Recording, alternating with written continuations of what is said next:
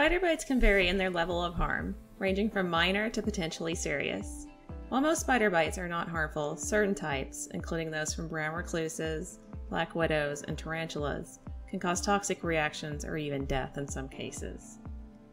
Let's start with the bites from the brown recluse spiders. The southern United States is home to many of these poisonous spiders. Their bites can leave a painful sore that can turn into a dark region of skin that is necrotic. When the bite is severe, infection and even death can result.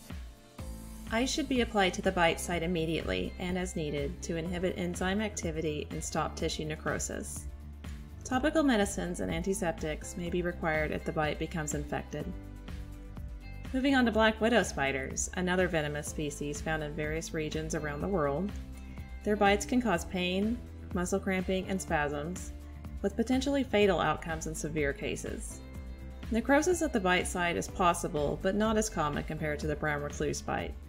Immediate application of ice to the bite area can help counteract the effects of the neurotoxin. In some instances, system toxicity may occur, necessitating supportive therapy in a hospital setting. If you're finding value in this video, then please hit the thumbs up and subscribe. And check out the link in the description to purchase an instant digital download of the integumentary system and disorders notes which includes the spider bites concepts reviewed in this video. Lastly, let's discuss tarantulas. Their bites can cause swelling, redness, numbness, lymph nodes inflammation, and pain at the bite site.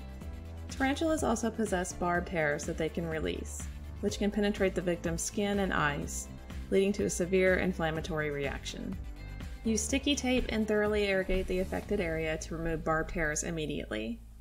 If the eyes are exposed, saline irrigation should be performed. Elevating and immobilizing the affected limb can help alleviate pain and reduce swelling. Depending on the severity, treatment options may include prescribing antihistamines, topical or systemic corticosteroids, and administering tetanus prophylaxis if necessary. Patients must be given guidance on how to avoid being bitten by spiders. Preventative measures include wearing appropriate protective clothing like long sleeves and pants when outdoors, using insect repellent, and maintaining a clean and clutter free home environment. Learn about the symptoms and warning signs of the different kinds of spider bites. It's essential to provide the proper care and interventions for patients bitten by spiders. Thank you for watching and let me know in the comments if you have any questions.